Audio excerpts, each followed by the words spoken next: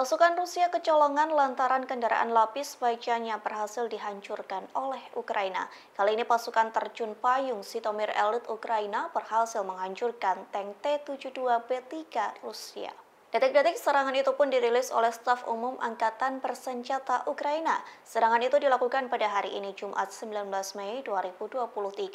Dalam keterangannya dilaporkan Rusia kehilangan empat kendaraan lapis baja hanya dalam 24 jam terakhir.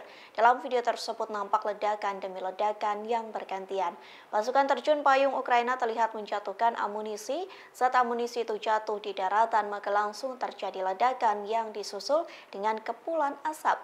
Dalam video tersebut terlihat pula tentara Rusia yang sedang berada di dekat tanknya. Mereka langsung berlarian saat amunisi Ukraina menghantam tank T-72B3 Rusia. Selesai ledakan itu terlihat kendaraan lapis baja Rusia terbakar hingga hangus.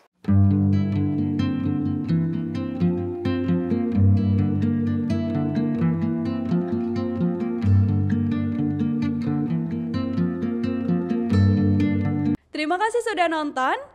Jangan lupa like, subscribe, dan share ya.